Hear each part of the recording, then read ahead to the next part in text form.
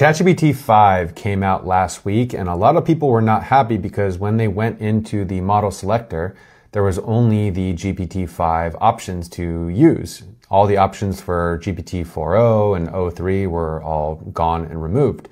But OpenAI has basically reverted that decision and has now added legacy models where you can now select the GPT 4o model. And this is available for all Plus and Pro users. Pro users should also be able to use all of the other models as well. The way that you add this is if you go down into your profile and then you go into the settings tab under general, there's now going to be this option that shows up called show legacy models. And if you enable it, once you enable it, you can then go through and use and select GPT-4o as your main model. So give that a shot. If it works, let me know in the comments down below and have a great day.